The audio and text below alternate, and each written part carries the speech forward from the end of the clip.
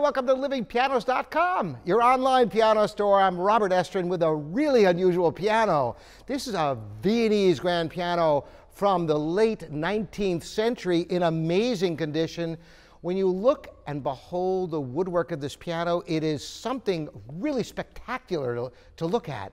And when you consider the age of this piano, the condition is really quite marvelous with the original ivory keys and the hand carving and all the rest of it.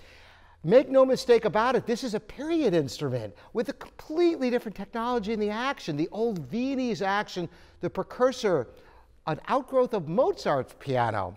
In many ways, this piano is closer to a forte piano than it is to a modern piano. The damper mechanism, the whole thing is really an interesting historical piece, and yet you can play this instrument and enjoy it.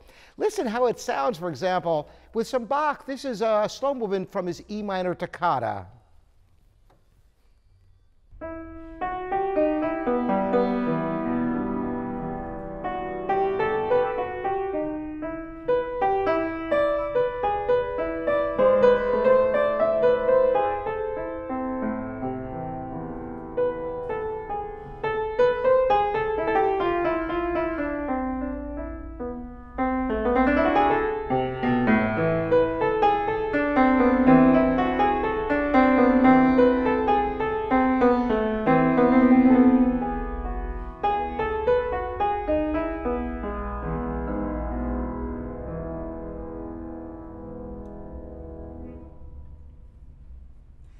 The Viennese action is actually backwards from the English action, which is what the modern pianos have an outgrowth of.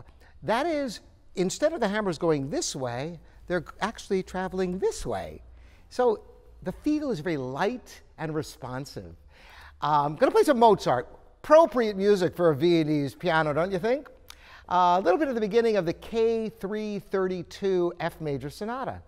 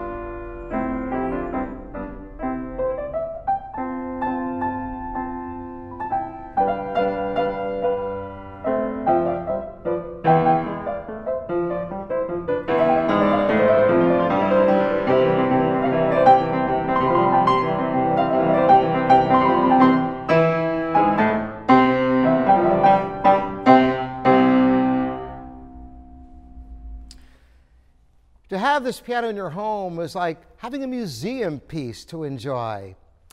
Let's close now with a little bit of Chopin.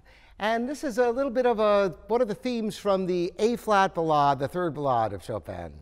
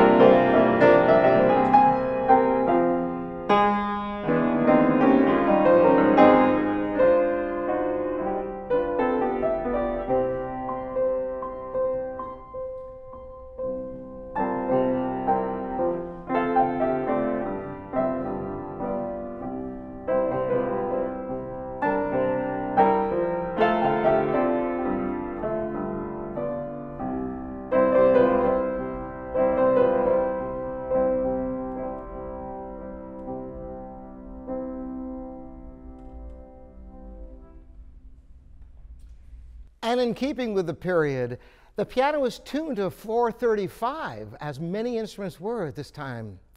So if you're into a unique playing experience of a piano from a different age, a different look, a different sound, an instrument before electricity, look at these shelves here for the candles, of course, so you could light your music. It really is fascinating to consider the history of this piano and it's a joy playing it, being transformed to another time.